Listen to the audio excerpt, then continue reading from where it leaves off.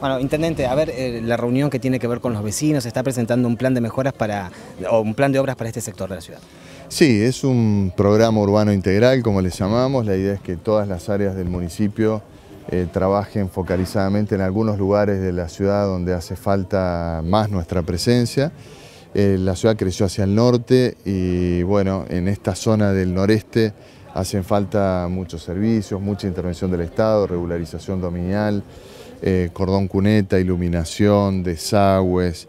eh, son muchas las necesidades, pero son muchos los proyectos que tenemos también, por eso queremos trabajarlos junto con los vecinos. En este caso nos apoyamos en el trabajo que viene realizando desde hace muchos años el movimiento Los Sin Techo, un trabajo valiosísimo de eh, ayudar a la gente con sus casas, de trabajar con las mamás y con los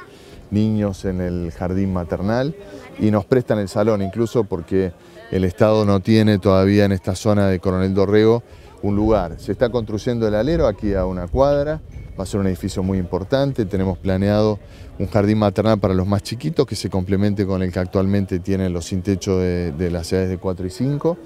además de mejoras en el barrio bueno, y de eh, trabajar con los centros de salud de la zona, en definitiva,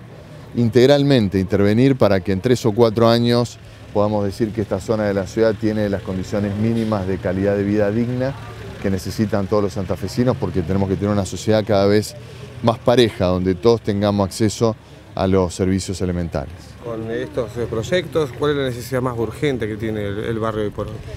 Bueno, en estos barrios hace falta empleo, eh, por eso también vamos a trabajar con los programas que tenemos junto con Nación, para los jóvenes especialmente.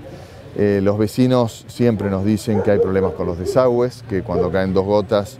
hay problemas en algunas esquinas puntualmente. Tenemos para eso también un plan de desagües, que es el tema que vamos a tratar en la próxima reunión.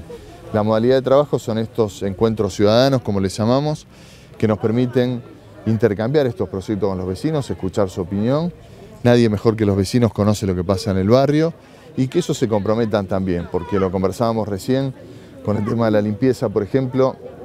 el gobierno tiene que hacer el servicio y el camión tiene que pasar, pero los vecinos también tienen que ser cuidadosos, sacar la bolsa en el horario indicado, los recolectores informales tratar de ir acomodándose de manera que no generemos en ciertos puntos del barrio estos mini basurales que empeoran la calidad de vida de todos.